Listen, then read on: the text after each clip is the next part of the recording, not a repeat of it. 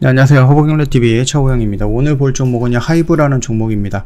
어, 외인들이 지금 5일 동안 연속 어, 매도 물량이 좀 나오고 있습니다. 어, 좀 보시면 될 것 같고 연기금이 어느 순간부터 계속해서 매도 물량이 좀 많이 나오고 있거든요. 거의 한 달 가까이 매도 물량이 좀 나오고 있다. 그 정도 봐주시면 될 것 같아요.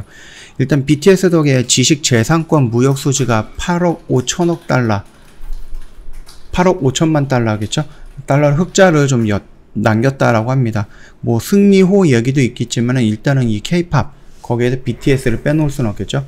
올해 상반기 전체 지식 재산권 무역 수지가 흑자 전환을 했다라고 하거든요.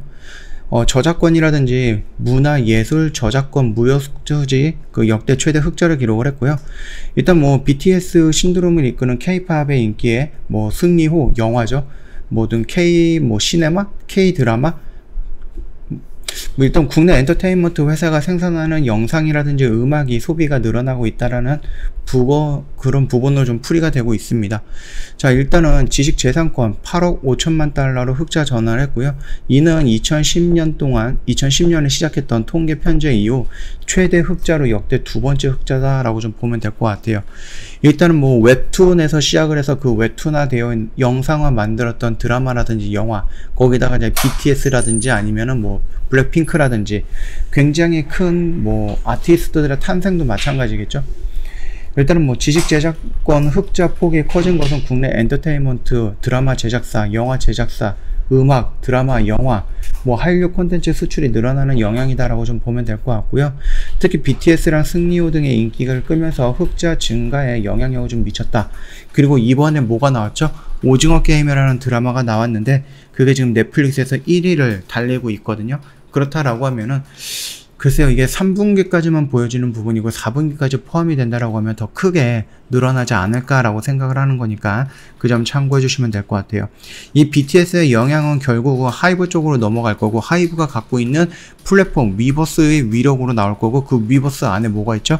위버스 샵이 있습니다. 그래서 BTS 물건을 살 수 있기 때문에 결국은 이 BTS로 가, 말미암아 하이브가 성장하고 하이브가 성장하면서 위버스 위버스 샵이 성장을 하면서 매출이 계속해서 늘어날 것이다. 라는 부분이죠. 그런 긍정적인 부분은 있으니까 참고해 주시면 될 것 같고요.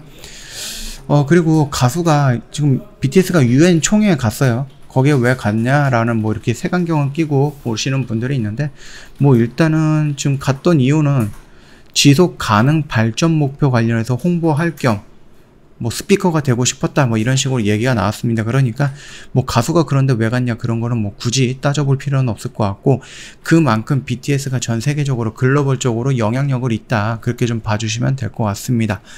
일단 하이브 같은 경우는요 두 가지 플랫폼이 있어요. 플랫폼 하나가 BTS라고 보면 될 것 같아요. 어마어마한 무시할 수 없는 그런 플랫폼이 BTS라는 아티스트인 거고요. 두 번째 같은 경우는 위버스라는 플랫폼이 있습니다. 그 안에 뭐 여러 가지 아티스트들의 물건이라든지 티켓 값이라든지 뭐 이런 것들이 있겠죠. 그렇기 때문에 BTS가 군대에 가게 된다라는 2년 전제하에 2년 동안의 그 공백을 메꾸기 위해서 위버스라는 부분을 많이 성장을 시켰죠.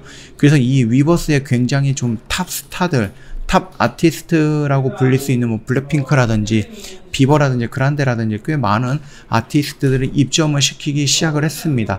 그래서 혹시라도 BTS가 공백 기간이 있더라도 이 위버스에서 어느 정도 매출을 다 채워주지 않을까라는 기대감 또는 이거를 성장시키기 위한 노력들 하고 있다 우리가 눈으로도 볼 수 있죠. 예, 그렇게 생각을 하시면 될 것 같고요. 일단 최근에 요 한 달 동안은 외인들 특히 기관들 거기에 연기금 물량들이 많이 나오고 있습니다. 물론 들어오는 물량에 비해서는 나갔던 물량이 그렇게 많지는 않아요. 어, 좀 보시면은요. 예전에 얘네들이 뭐 지난달부터 들어왔던 물량들이 이렇게 있잖아요. 여기서 보였던 그러니까 7월 달부터 들어왔던 물량들에 비해서 8월 달, 9월 달에 나간 물량이 그렇게 많지는 않습니다. 계속해서 계속 들어왔거든요, 얘네들은. 그렇기 때문에 지금 당장 이게 뭐 외인 그 기관들의 물량에 의해서 밀린다라고 조금 보기는 어렵습니다. 결국은 얘네들도 움직이는 것은 직접적으로 영향을 받으면서 움직이는 것은 뭐 연기금과 투신의 물량보다는 외인들의 물량이 더 크지 않을까라고 생각을 하니까 그 점 참고하시면서 외인 물량 체크해 보시면 될 것 같고 우리는 일단 얘네가 3분기, 4분기에는 어, 실적이 높아질 거고 만약에 위드 코로나라는 키워드가 다시 한번 언급이 되면서 뭐 빠르면 4분기, 늦으면 1분기에 진행이 된다. 그러면 내년 실적도 더 좋아질 수 있다라는 그런 관점으로 보면 되겠죠. 우리는 이 박스권 안에서 여유 있게 천천히 잡아 들어가면 된다라고 좀 말씀을 드리겠습니다.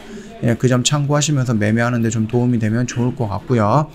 저희 허브경제TV 홈페이지 놀러 오시면은요, 카톡 친구 추가하는 방법 그림으로 올려놓은 게 있거든요. 이거 한번 보신다라고 하면 어렵지 않게 카톡 친구 추가가 될 거니까 참고하시면 될 것 같고, 카톡 친구 추가를 하면은 저희가 드리는 혜택들, 저희가 준비한 혜택들이 여러 가지 있는데, 다 드릴 거예요. 다 퍼 드릴 거니까, 그거 받기 위해서는 기본적으로 카톡이 친구 추가가 되어 있고, 저희랑 소통이 돼야 된다. 그렇게 좀 말씀을 드릴게요. 그 중에서 저희가 좀 준비하고 있는 게 그 3분 허브 브리핑입니다. 이거는 저희가 영상을 볼 수 있게끔 링크를 달아서 카톡으로 보내드리는 거이기 때문에 전제 조건이 카톡 친구 추가다라고 좀 보시면 되고요. 그 3분 브리핑 같은 경우는 허브 브리핑 같은 경우는 저희가 뭐 시황 브리핑이라든지 재료 브리핑 또는 지금 이 시장에서 우리가 좀 봐야 되는 종목이 어떤 것들이 있는가 그 부분에 대해서 언급을 해 드리는 거기 때문에 그 점 참고해 주시면 될 것 같습니다. 굉장히 좀 유용한 정보가 담겨져 있는 영상이기 때문에 그리고 이게 일회성 영상이 아니라 주기적으로 저희가 찍어서 올려 드릴 겁니다. 업데이트 해 드릴 거니까 요거 다 받아 가시면 좋지 않을까 그렇게 좀 생각을 하고 있으니까 참고해 주시면 될 것 같아요. 저희 수익 인증 탭에 오시면은요 좀 매매했던 내역도 이렇게 올려놓은 게 있습니다. 조금 시장이 뭐 헝다라든지 테이퍼링이라든지 금리 인상이라든지 등등 여러 가지 좀 어, 이슈들이 많아요. 그러다 보니까 저희가 좀 단기적인 관점에 접근을 하고 있습니다. 그래서 오늘도 VIP 휴캠스라는 종목 하나 정리했고요. 정리하시면 저희 허브경제TV 회원님들, 주주님들이 이런 식으로 인증샷을 보내주거든요. 요거 짧게나마 저희가 정리해서 이렇게 올려놨다라고 봐주시면 될 것 같습니다. 요거 보시고 아 이런 매매 방법 나는 좋다. 나랑 잘 어울리는 것 같다. 그러면 고민할 필요 없겠죠? 카톡 친구 추가하시고 바로 저희한테 연락을 주시면 될 것 같습니다. 자, 오늘 영상은 여기서 좀 짤막하게 마치도록 할게요. 영상 도움이 됐다 그러면 구독과 좋아요 한 번만 부탁드리겠습니다.